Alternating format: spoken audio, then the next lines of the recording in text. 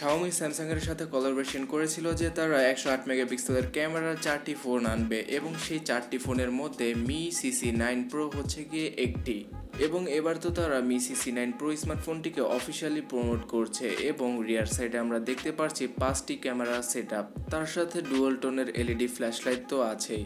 So hey guys Shanto here কবে নাগাদ এই ফোনটি লঞ্চ হচ্ছে এবং কত প্রাইসে এই ফোনটি পাওয়া যাবে সব কিছু ডিটেলসে জানাচ্ছি এই ভিডিওতে। অবশ্যই শেষ পর্যন্ত দেখুন এবং ভালো লাগলে লাইক আর সাবস্ক্রাইব করতে ভুলবেন না।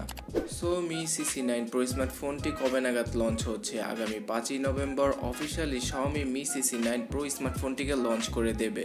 এবং শুধু এই ফোনটিকেই লঞ্চ করবে না, তার সাথে আরও লঞ্চ করবে শাওমির নিজস্ব স্মার্ট ঘড়ি, তার সাথে মি টিভি ফাইভ তাছাড়া মি পোর্টেবল এসিও তারা লঞ্চ করবে। সো এই সমস্ত জিনিসকে এক সাইডে রেখে Mi CC nine pro smartphone সম্পর্কে কথা বলা যাক। এর আগে মি সিসি সিরিজে মি সিসি নাইন এবং মি সিসি নাইন ই দুটি স্মার্টফোন লঞ্চ করেছিল Xiaomi so Mi CC nine pro হচ্ছে গিয়ে এই সিরিজের আরও একটি নতুন ফোন আর এই ফোনটিকে তৈরি করা হয়েছে শুধুমাত্র ক্যামেরার উপর ফোকাস করে, কারণ এখানে মেন শুটার হিসেবে থাকছে একশো আট মেগাপিক্সেলের প্রাইমারি ক্যামেরা যেটা হচ্ছে গিয়ে স্যামসাং এর নিজস্ব ISOCELL bright H M X সেন্সরটি।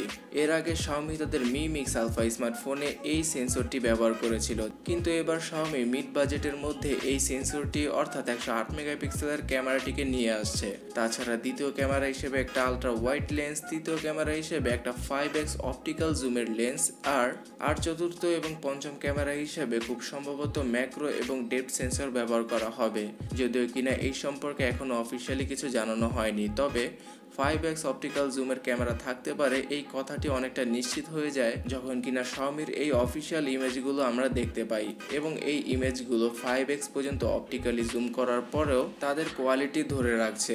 হতে পারে ফাইভ এক্স অপটিক্যাল জুম থাকতে পারে অথবা একশো আট মেগাপিক্সেলের ক্যামেরার সাথে টু এক্স অপটিক্যাল জুমের ক্যামেরাটিকে একসাথে করে কোনো হাইব্রিড জুম ক্রিয়েট করেছে তারা। যদিও কিনা আগামী পাঁচই নভেম্বরের পরে এই জিনিসটা সম্পর্কে জানা যাবে। সো রিয়ার ক্যামেরার পরে ফ্রন্ট ক্যামেরার সেলফি সম্পর্কে জানা যাক। ছোট্ট একটি নচের মধ্যে বত্রিশ মেগাপিক্সেলের সেলফি ক্যামেরাটিকে যুক্ত করা হবে এই ফোনের মধ্যে। পেছনে যে একশো আট মেগাপিক্সেলের ক্যামেরাটি রয়েছে, সেটা প্রাইমারি মোডে টোয়েন্টি সেভেন মেগাপিক্সেলের ছবিগুলো তুলতে পারবে। তাছাড়া ডিসপ্লে হিসেবে এই ফোনটির মধ্যে সিক্স পয়েন্ট ফোর ইঞ্চির একটি ফুল এইচডি প্লাস রেজুলেশনের অ্যামোলেড ডিসপ্লে ব্যবহার করা হবে। আর ডিসপ্লের ভিতরেই থাকবে একটি আন্ডার ডিসপ্লে ফিঙ্গারপ্রিন্ট স্ক্যানার এছাড়াও মি সিসি নাইন স্মার্টফোনের সামনের দিকের ইমেজও লিক হয়ে গিয়েছে। আর এই লিক ইমেজটির মধ্যে আমরা দেখতে পারছি ডিসপ্লের দুই পাশে কার্ভ অর্থাৎ মি সিসি নাইন প্রো স্মার্টফোনে কার্ভ এজের ডিসপ্লে ব্যবহার করা হবে। মি সিসি নাইন প্রো স্মার্টফোনের প্রসেসর হিসেবে ব্যবহার করা হতে পারে স্ন্যাপড্রাগনের সেভেন থার্টি জি প্রসেসরটিকে। যদিও এখনও এই জিনিসটা কনফার্ম না, তারপরও পাঁচটি ক্যামেরাকে এই প্রসেসরটি কীভাবে হ্যান্ডেল করবে তাই এবার দেখার বিষয়। তাছাড়া ফ্রন্ট এবং ব্যাক সাইডে গরিলা গ্লাস ফাইভের প্রোটেকশন তো থাকবেই এবং পাওয়ার ব্যাকআপ দেওয়ার জন্য চার হাজার এমএচের ব্যাটারি ব্যবহার করতে পারে শাওমি এবার। তার সাথে খুব সম্ভবত থার্টি ওয়াটের ফাস্ট চার্জিং প্রযুক্তি থাকতে পারে।